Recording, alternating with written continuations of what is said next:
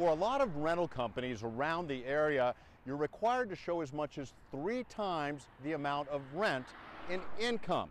For most folks, coming up with enough to rent an apartment like these means coming up with a lot of money.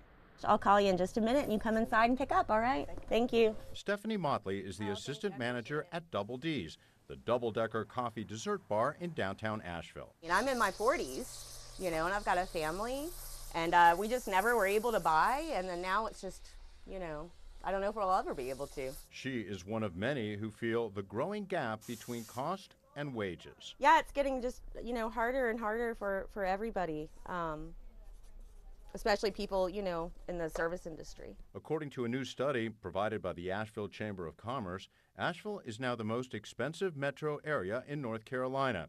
However, it's number five in wages. As a region, our wages have lagged our state and our nation for, for decades. Clark Duncan with the Chamber of Commerce sees a longer term solution. Growing strategic parts of our economy, so we're raising the wages uh, and quality of life of our residents. Stephanie is a mom with four kids. For her, the needs are more immediate. If rent is $2,000, you have to prove that you're bringing home $6,000. And who brings that home in Asheville that is actually working here? It's a reality that she says has many moving away.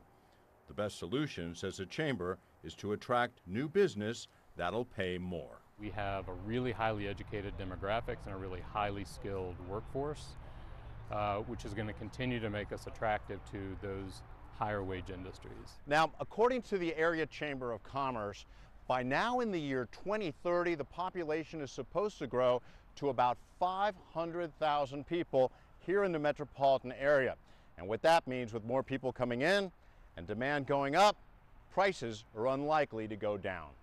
In Asheville, Charles Perez, News 13.